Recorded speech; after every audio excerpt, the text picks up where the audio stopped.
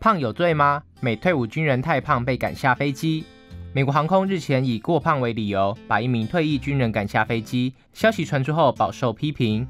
周五时，克里斯·雪莱刚登上一班从达拉斯飞往橘郡的班机后，一名娇小的老太太坐在他旁边，然后过没多久就起身走向飞机前舱。很显然的，她是去跟前面的空服员抱怨，有个男人胖到塞不进座位里。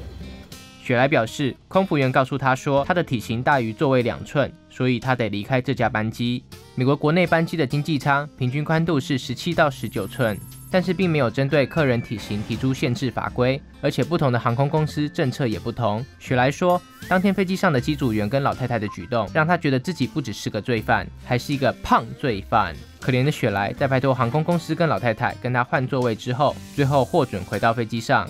雪莱是前美国陆军战队，而且常常坐飞机，一年的里程数可以达到十万英里。哎，这样的大咖也敢冒犯呐？他收到了两封来自美国航空的道歉电子邮件。信中声明，他们正在调查这起事件。